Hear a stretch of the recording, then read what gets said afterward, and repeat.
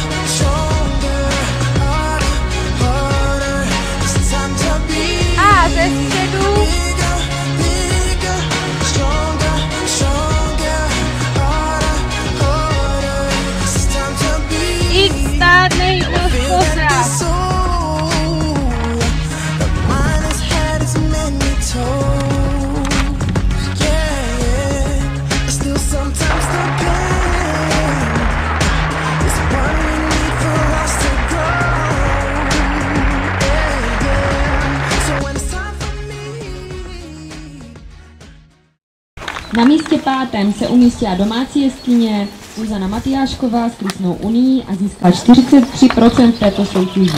Jeskyně získává zelenou plotu, byly to její první závody a na jaře si dělala takové zkoušky základního.